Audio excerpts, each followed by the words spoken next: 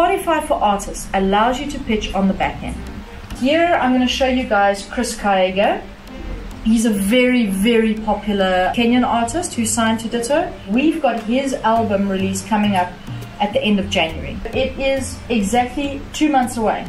We still have another single drop, but his album is here and it's delivered. And now what I want to make sure happens is that editors get to hear this album and can think, give it time to get under their skin so that they know where on playlists this album can go. Because editors can't playlist an entire album, we pitch a song. So we tell them, hey guys, these tracks are being worked. This is the focus track. It's not a single, but it's the focus track of the album. An instant grat is basically a single from the album that goes live before the album is released. It's the same as putting a single out on all the other streaming services, but instead of having that album go live on streaming, that single go live on streaming services, it becomes live on the album. And it makes people wait, wonder, can't wait, build up anticipation, excitement for when your album is released. I can really advocate to doing that, having a proper rollout strategy, because it means that your album needs to be finished and delivered before you start with the campaign. And it means that Apple can see the data coming in. You're working it before the release of the album rather than afterwards.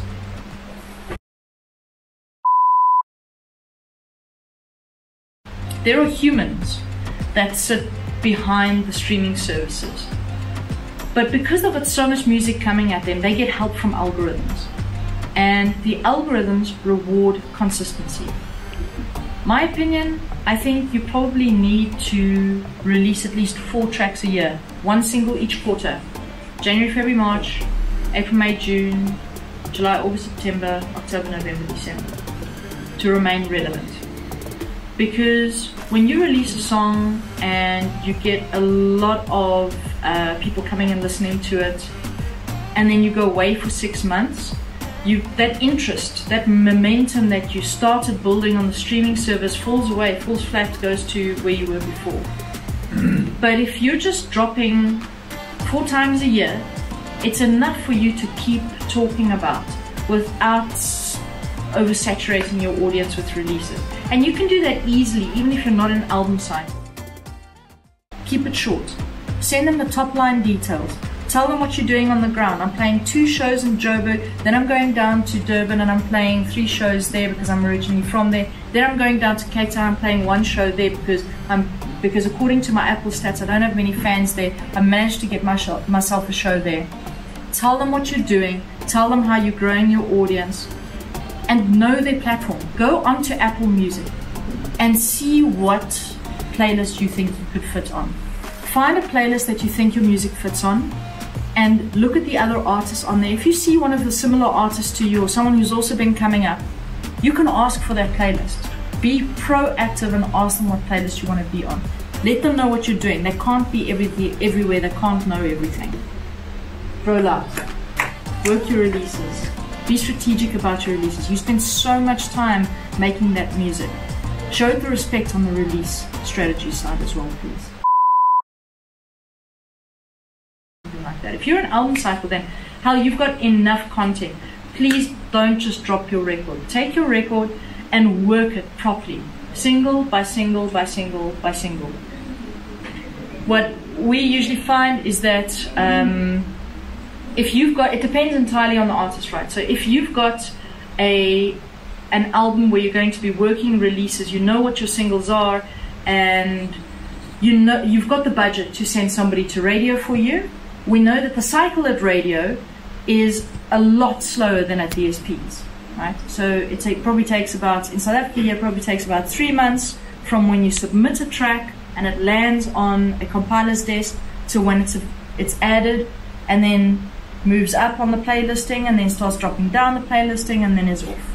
And that takes about three months. But you release a single on a DSP, you know, you release it, it's a week later, it's on another playlist. We've got to keep pitching, or you've got to keep pitching and letting them know about news uh, to make it relevant, get it onto more playlists. But, you know, a month, maybe, the momentum is gone. Maybe, maybe two months, right? What you could do easily is take your first single and take that to radio and decide on another good song and make that a single, but on DSPs. And then you've got activity, you've got interest. Take your third, take sorry, so that's your second single. Take your third single back to radio, and it's a single on DSPs, and then make another one from the album before you before you release the album. That way, you've got two singles that have been to radio, and then you've got the album. But you've got four singles on DSPs before you've got the album. Gives you something to talk about on social media all the time, right? The other thing that I suggest you do is working a pre-save, a pre-add strategy. What we used to do in the days when we still had CDs and we were working those, you would release, you would say single and take it to radio and do a little bit of media. Single, take it to radio, do a little bit more media. Album drop, big media, goes into stores, sales, tour. Right? You would only announce the album maybe on the second single or, you know, close to the album release.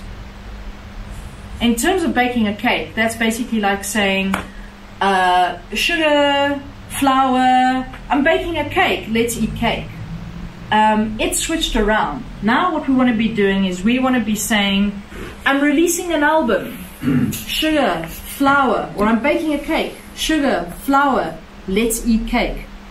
Um, what that allows you to do is it allows you to have a pre-save on Apple and throughout the campaign while you're releasing singles people know that you've got an album coming up and they will go and add that to their library. When you release a single, you're relying on people, you tell people that your single is out. You're relying on people going to your profile and playing that song. If you've got a pre add that is available on stores, people add that to their libraries, and on release day, while they're still snoozing in bed, they haven't even listened to the song yet, the album's been added to their library, and Apple can see that. So that's how you activate your fan base to actually help you with the data